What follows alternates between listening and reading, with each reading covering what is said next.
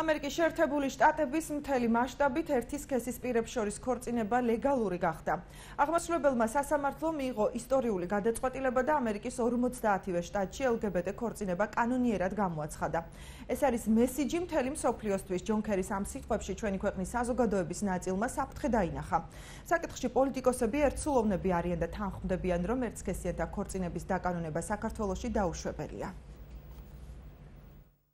ამერიკის შეერთებული შტატების სასამართლომ ქვეყნის 50 შტატში ერთსქესიანთა ქორწინება დააკანონა. 26 ივნისიდან კონსტიტუციაში ცვლილება შევიდა რომლის მიხედვითაც ამერიკის შეერთებული შტატების ყველა მოქალაქეს აქვს უფლება დაქორწინდეს მასზე ვისაც სურს.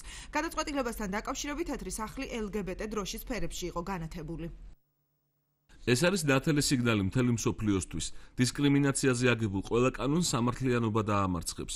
ჩვენ ამუშავებას სიამაყის გზნობით გავაგრძელებთ. იმ პროგრესის გამო, რომლის მიღწევაც ჩვენს ქვეყანაში შევძელით. ეს არის მესიჯი მთელი მსოფლიოსთვის ჯონ კერის ამ განცხადებას გამოიხმაურა რესპუბლიკელი გიორგი მასალკინი. დეპუტატი მიიჩნევს, რომ საქართველოს აღნიშნული მოდელის გადმოსაღებად მზად არ არის.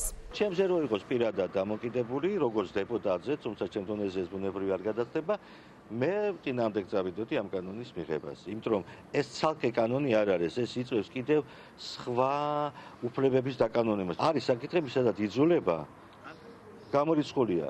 ზეწოლა გარკვეული იქნება, კეთილინებე და გაატარე შენი პოლიტიკა. ერთსქესიანთა ქორწინების დაკანონებას დაუშვებლად მიიჩნევენ უმცირესობის წევრებიც. ერთიან ნაციონალურ მოძრაობაში აცხადებენ, რომ საკითხი ხალხის გადასაწყვეტია და უცხო ქვეყნის ნებისმიერი ფორმით ჩარევა ქვეყნის შიდა სამზარეულოში არასწორი იქნება. მე არ მგონია, რომ რომელიმე ქვეყნის შიდა საქმეებში ჩარევა იყოს სწორი, სხვა დამოუკიდებელი სახელმწიფოს მხრიდან და ბუნებრივია არც ამ საკითხში საქართველოს ვერ ჩერევა ვერავინ. ერთსქესიანთა ქორწინება ჩემი აზრით საქართველოსი არ უნდა იყოს დაკავებული.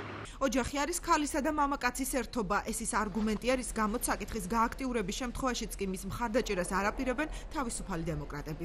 მიგვაჩნია, რომ ქორწინება არის ქალისა და მამაკაცის ერთობა და ამ შემთხვევაში ჩვენ მხარს არ დაუჭერთ თუ კი ესეთი ინიციატივა დღის წესრიგში დადგება. თუ მათი ღირებულებების ძალით თავზე მოხვევის მცდელობა იქნება ევროკავშირი დაიშლება.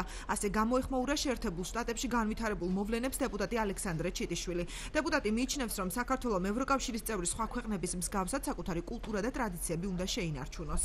ჯონ კერის განცხადებას მე ვფიქრობ რომ ევროკავშირის ბევრი ქვეყანაც არ გაიზიარებს ამ განცხადებას. ყველა ქვეყანა ევროკავშირის ინარჩუნებს თავის კულტურას ინარჩუნებს ფირყავდობას და საქართველოს იქნება იმ კულტურით და იმ ყოფადობით შესული ამ ევროკავშირში რომელიც დღეს ჩვენ გვაქვს ამიტომ ვფიქრობ რომ ევროკავშირის ზეკეტკი ძალით თავმოხმობა იქნება არ ჩვენზე არამედ ევროკავშირზე ევროკავშირი დაიშლება. საქართველოს პრემიერ-მინისტრი კი აცხადებს რომ კონსტიტუციაში უნდა გაჩნდეს ჩანაწერი რომ ქორწინება და ოჯახი არის ქალისა და მამაკაცის ერთობა.